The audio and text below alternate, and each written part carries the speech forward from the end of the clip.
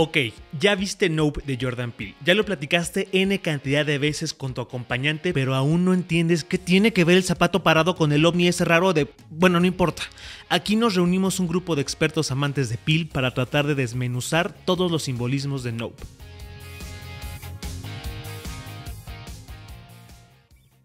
Empecemos con el significado general de la película. ¿Qué diablo significa Nope?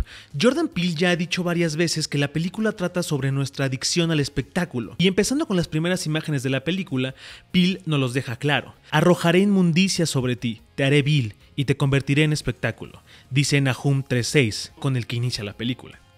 En tan solo dos líneas, Peel resume perfectamente la película. Claro, cada uno de estos personajes persigue esa adicción a lo largo de la película, pero todos con fines diferentes.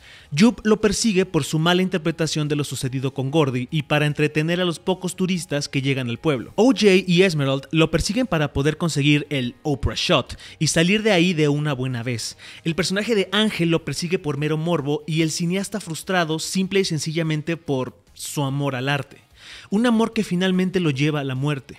Todos ellos arriesgan su vida para conseguir acercarse a esta cosa que ellos no entienden bien qué es ni qué quiere. Obviamente el comentario a la calidad de cosas que nos llaman la atención está presente. Al ver cómo el personaje del director abandona por completo su documental casi casi hecho a la antigua por querer ir a filmar algo que sí le va a dejar dinero. ¿Cuántos directores no han dicho eso sobre el cine hoy en día? ¿Cuántos no han dejado de hacer cine independiente por hacer cine de superhéroes y grandes naves? Todos. El título.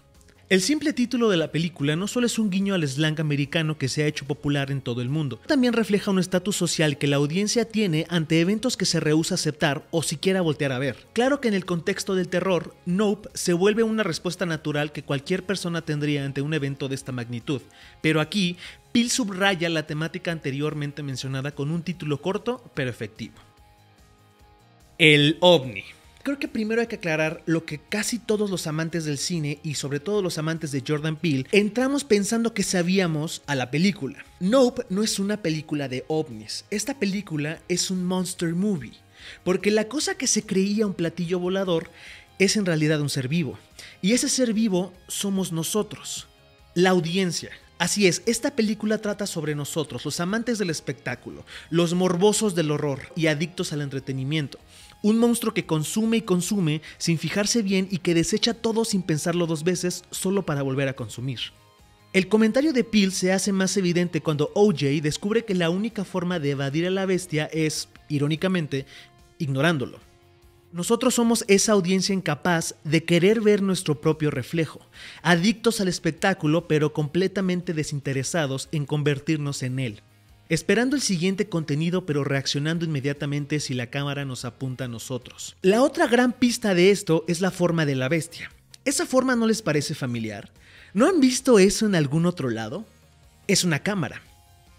Las cosas alrededor de la boca de este monstruo asemejan mucho a un parasol o a un filtro por los que pasa la imagen y se captura para eventualmente proyectarla. Esto claro se le suma a los comentarios sobre la industria cinematográfica que la película no se esfuerza en ocultar. Bill también aprovecha para comentar un poco sobre la raza y la minoría desterrada de las tierras hollywoodenses. Desde child actors hasta creadores de animales para televisión y la pantalla grande. Gordy. Ahora, vayamos con la cosa que más le saca de onda a la audiencia, porque claro, o sea, ese es un ovni, ok, come gente, sí, pero ¿qué p con el zapato y el chango? Pues verán, la viñeta de Jup y Gordy es la historia que refleja perfectamente el tema de la película y que resuelve la duda de OJ. ¿Cómo se le llama a un milagro malo? Verán, entre todo el caos y la subrayada la frase de no puedes domar a una bestia, Peel pone ese momento que pareciera gratuito solo para decirnos, eso, eso es un mal milagro, un suceso en medio de una escena completamente caótica y desesperanzadora justo lo que viven nuestros dos protagonistas, justo cuando la industria los está escupiendo como la bestia celestial, justo cuando su padre murió de la forma más extraña del mundo, justo cuando todo su mundo se está derrumbando, les llega la oportunidad de la vida, grabar a una bestia capaz de acabar con todo un pueblo para poder salir adelante económicamente. Eso es un bad miracle. Arriesgar la vida meramente para obtener algo que parece venido del cielo.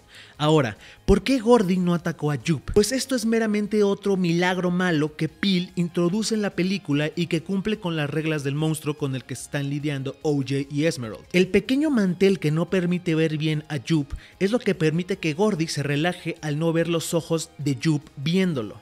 Otro Bad Miracle. Y tal vez tú digas, Raúl, pero ese no es un Bad Miracle. Jupe sobrevivió gracias a eso. Ese es verdaderamente un milagro, un buen milagro.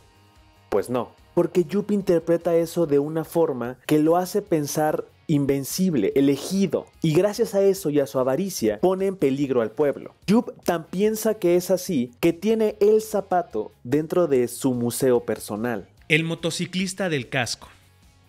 Ese momento casi al final de la película es la última pista de Peel para la audiencia. Decimos pista por cortesía, ¿eh? porque realmente Peel aclara todo por si no le habías estado entendiendo a la película hasta ese momento. El motociclista es la representación literal de lo que estamos dispuestos a hacer para conseguir ese entretenimiento, el espectáculo.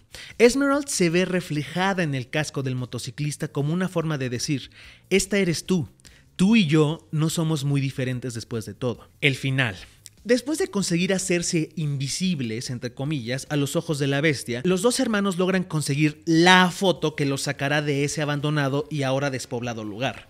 La manera que consiguen la foto es la forma más arcaica de la historia, una foto expuesta a la luz, dejando en claro que esta necesidad del espectáculo viene desde tiempos inmemorables. Ahora, después de hacerse invisibles, OJ y Esmerald, con la ayuda de esa foto, The Oprah Shot, no serán invisibles nunca más. Un guiño muy bonito hacia ese mensaje es la seña que tienen los dos hermanos. Ese movimiento de manos y de dedos que pareciera muy simple y algo que harían cualquier persona en el diario, tiene un mensaje mucho más profundo al final de la película, porque después de los dos hacerse invisibles, tanto para la industria cinematográfica como para su propio pueblo, como para el mundo, ellos dos se dicen con esa seña, yo te veo a ti, para mí tú no eres invisible. Y esa es una cosa que tal vez solo tú puedas entender con esa persona con la que tienes tanto cariño y apego, que tú sabes que puede pasar cualquier cosa, el cielo se puede estar cayendo, pero tú tienes los ojos puestos en él o ella. Sin duda, esta película es para verse más de una vez. ¿Qué otros simbolismos ustedes vieron en la película? Hay muchísimas cosas, hay muchísimas referencias, desde la playera de Rage Against the Machine con Zapata hasta la rara referencia de la película El Rey Escorpión. Comenta aquí abajo qué otras referencias tú captaste y qué otras este video te ayudó a ver.